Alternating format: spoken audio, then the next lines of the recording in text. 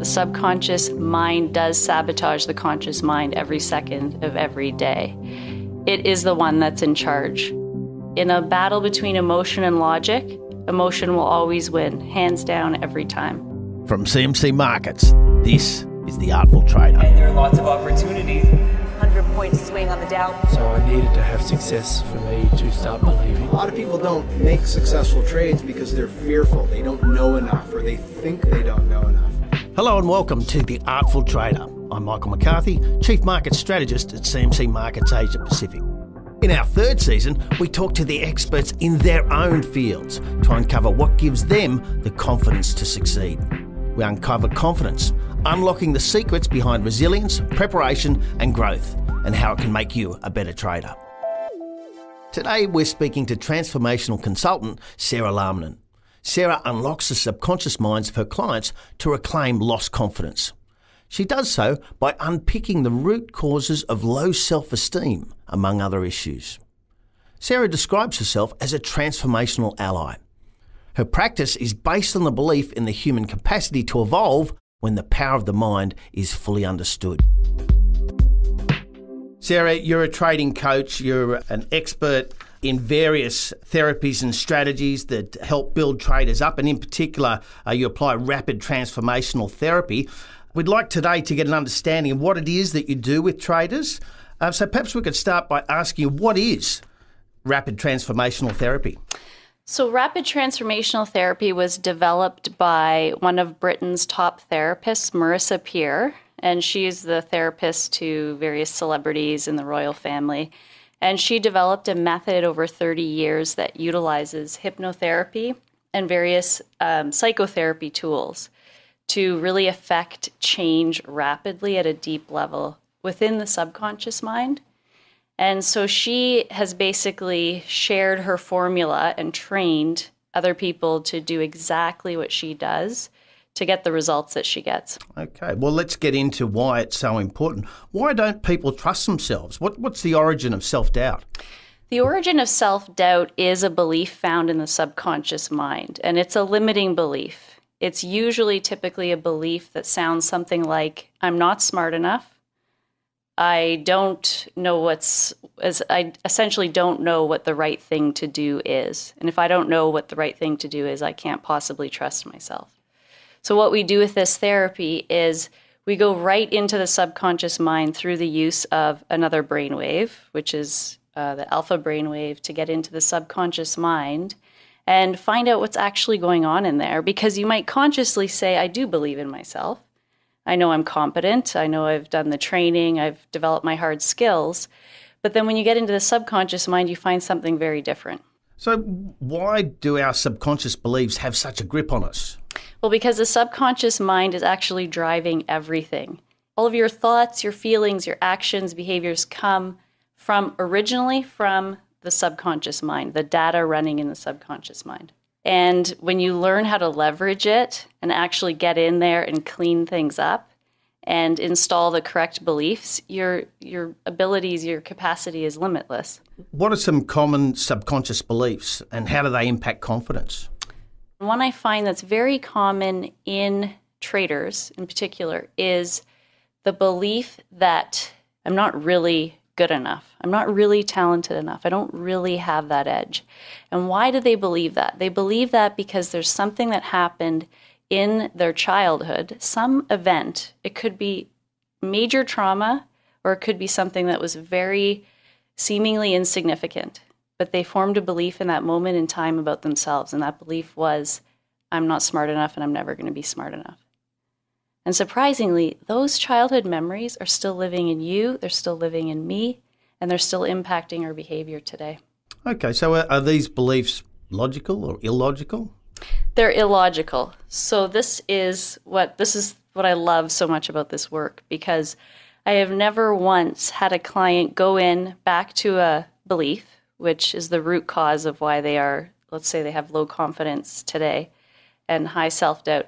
I've never once had someone look back at that belief from their perspective today, turn it over, look at it every which way, and decide that, yes, indeed, they should have formed that belief. It's always illogical. And in that moment in time, there's a profound level of understanding and an opportunity to change that belief because you can see really how illogical it is and how it's irrelevant to your current day life, to your reality. How does self doubt impact our decision making as traders? So, self doubt triggers a fear response. So, if you really are about to make a move or you're at a decision point, fear is essentially triggered if you don't believe that you have the capacity or the ability or the knowledge um, or the skills to understand the nuances or whatever you're looking at in a decision making point in time. So it triggers fear. When you trigger fear, you have the stress response. And what happens is that you lose access to the higher functioning prefrontal cortex of your mind, and all of your resources go to survival, the fear response. And that's essentially the last thing you would want to be doing, right? When you're when you're analyzing a situation in a high-paced, um, fast-moving um, moment with a lot of information, data coming your way. You don't want to lose your highest order of functioning, your executive functioning. So, by installing self trust and installing incredible confidence, you have the capacity to mitigate that fear response. Do we learn to be fearful? I believe that we do. I understand that there's there's only a couple fears we were born with and one of them is the fear of being dropped. That's a fear we're born with for good reason, right? Initially as an infant. But other than that, fear is learned. It's a learned response to life. Well, anybody who's seen a baby stick everything they can get their hands on in, in their mouth understands. I think that there's not yes. a lot of fears present at that time. Exactly. exactly. Um, so, what's the relationship between emotion and behavior? So, emotion informs our behavior. So, we have beliefs held in your subconscious mind, and your thoughts come from those exact beliefs. Your thoughts that you're having in your mind create the emotions you're having, the feelings you're having in your body, and then we act and behave from those emotions and feelings. So, and our actions and behaviors determine our results and our performance. So, it's really the quality of the emotions you're having that determines the quality of your performance and your results. So, what, how do you determine the quality of your emotions? Well, that's by understanding the beliefs held in your subconscious mind. Are they healthy? Are they expansive? Do they support your ability to go out and take risk, to take measured risk? Or are they constantly self sabotaging you and limiting your ability to, to grow and become better and better at your craft? I've heard this explained as your primitive brain hijacks your thinking brain. Yes. Well, if we're going to liken the primitive brain to the subconscious brain, I can tell you that yes, the subconscious mind does sabotage the conscious mind every second of every day it is the one that's in charge. In a in a battle between emotion and logic, emotion will always win, hands down every time. And the emotional mind is the subconscious mind. So how do we know when we're being driven by our emotional mind? Well, we're always being driven by our emotions. I think the question is what is the quality of our emotions and what are those emotions leading us to do? Are they leading us to self sabotage or to actually make and take great risks or make decisions or improve our systems? I think that's the question. Okay, so is it external measures that tell us or Well, I think it's on based on the way you feel, first and foremost. If you feel good emotion, positive emotion, I think that's a great indicator that you have sound uh, subconscious beliefs, beliefs that are supporting you. If you feel chronic stress, you feel fear, you feel doubt, you feel loneliness, you feel, or you have issues in other areas of your life, in your personal life, then I think that's a strong indicator that there is some cleaning up to be done in your subconscious mind. And the other thing is that it's not your fault. When you have these behavioral, these performance blocks, it's really important to understand that it's not your fault because the conscious mind can't outsmart the subconscious. So the best thing you can do is actually go in there, explore what it is. And the thing is, is it doesn't take that long to resolve and clean it up. And that's what I love about this method is that in one, two, three sessions, you can have a massive transformation. Perhaps it's just that you've explained it so well, but it sounds very straightforward. I mean, why is it hard to change old habits? It's hard to change old habits when you try to change them through the conscious mind. So we can sit here, Michael, and talk all day long about what why you're not performing at the level you want to perform and we'll never touch the subconscious. Right. We'll never get to the root cause. Okay. But if I put you into hypnosis and I start asking questions and we go in and find out what is the root cause, what's actually happening in that subconscious emotional mind that's driving your behaviors, then we're going to get answers. And then you have an opportunity to change it. Okay, so you, have said two or three sessions delving into the subconscious can be enough to bring about very important change. Can you tell us how that works or what your therapies are?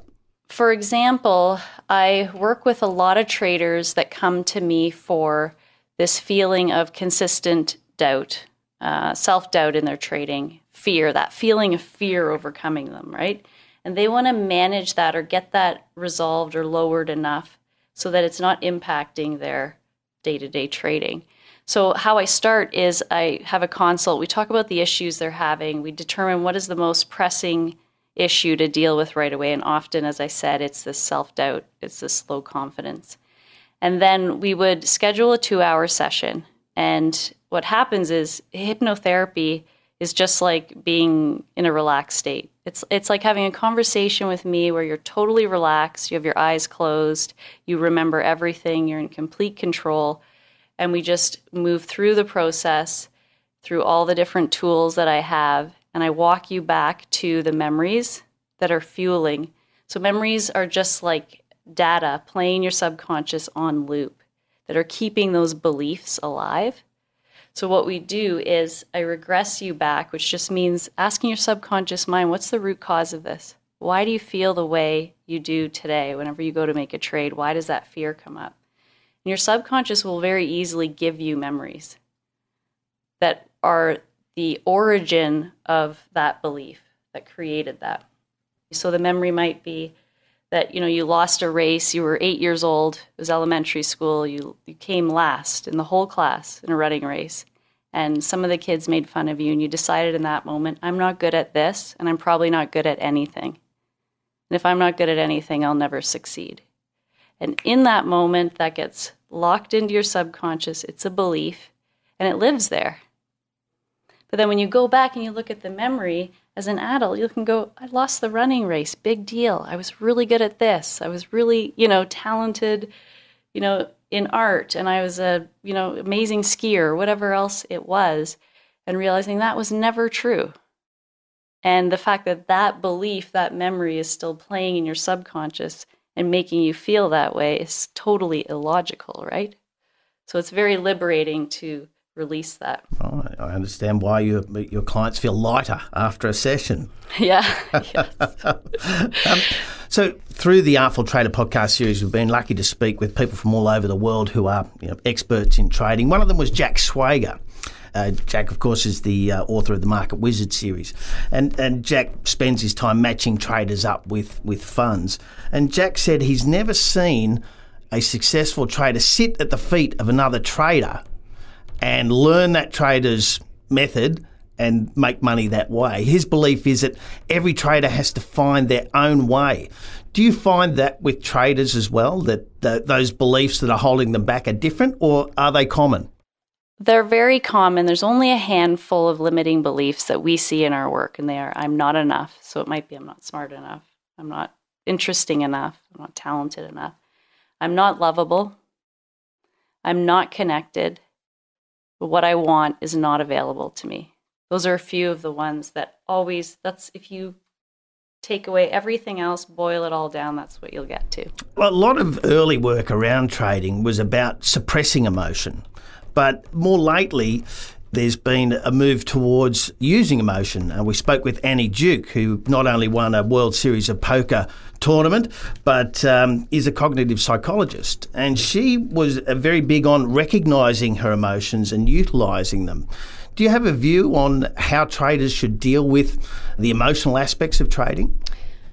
I do. I think that it's incredibly important to be aware of emotions and not to take a back seat to them and let them be the things that inform your decision making without actually being conscious and aware of what's going on. So, back to what I said originally, which was that the quality of the emotions, if they're positive emotions, you might feel a level of tension and excitement, but that's different from that feeling. And you can connect with that in, in session with me that feeling of fear, that feeling of doubt, that feeling of I am not enough. That's very different.